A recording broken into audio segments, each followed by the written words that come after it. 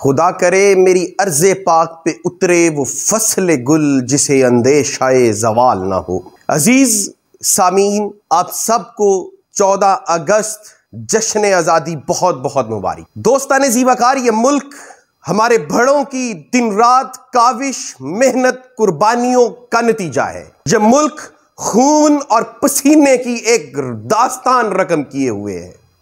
ये मुल्क दुनिया का वो वाहद मुल्क है जो इस्लाम के नाम पे हासिल किया गया है। इस मुल्क में इस्लामी कवानीन राइज करने के लिए ये मुल्क बनाया गया है। मेरे बच्चों, मैं बहुत अहम बात आपसे बताना चाहता हूँ कि ये 14 अगस्त इसलिए नहीं मनाई जाती कि आप मोटरसाइकिलों से सलेंसर निकाल के तेज चलाएँ, वन व्हीलिंग करें और अपनी ज़िंदगी को खतरे में डालें, बल्कि ये दिन इस अजम इस मोहब्बत, इस जोश, इस वलवले से मनाना चाहिए कि हम सोचें कि ये मुल्क हासिल क्यों किया था।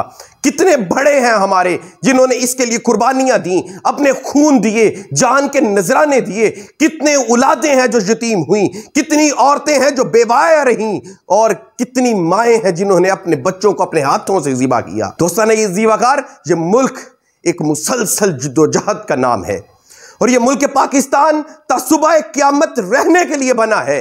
मेरा इस वक्त पैगाम ये है कि मेरे भाइयों, हमें ये मुल्क सिर्फ़ एक पाकिस्तान जो मुल्क है, ये दुनिया में हुक्मरानी के लिए बना है, क्योंकि इसमें कहा गया है कि पाकिस्तान का मतलब क्या?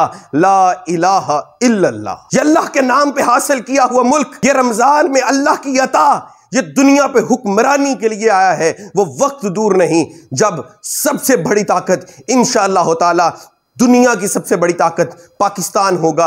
मेरे अज़ीज़ तालब इल्मों अज़ीज़ सामीन, ये मुल्क आज नौजवानों के हाथों में है। हमने इस मुल्क को उठा के ऊपर उस मुकाम पे लेके जाना है, जिस मुकाम के लिए ये मुल्क तख्लीक किया है। इसके लिए मुझे, आपको, सबको मिलके मेहनत करनी है। पाकिस्तान जिंदाबाद।